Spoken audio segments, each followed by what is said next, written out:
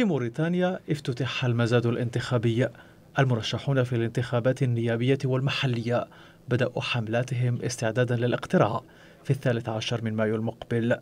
25 حزبا سياسيا سيبدأون معركة للتنافس على 176 كرسيا داخل البرلمان. التوقعات تشير إلى سباق محتد بين حزب الإنصاف الحاكم وأحزاب داخل المعارضة. من ضمنها حزب التجمع الوطني للإصلاح والتنمية ذو التوجه الديني وحزب الصواب. وبعيدا عن التوقعات يسعى حزب الإنصاف الحاكم لنيل الأغلبية ليستمر في سيطرته السياسية على المجالس المحلية والجهوية.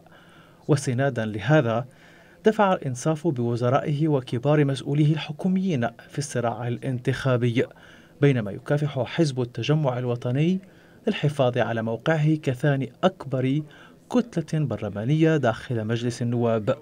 كل هذا سيحتكم في النهاية لإرادة مليون وثمانمائة مواطن لهم الحق في الانتخاب.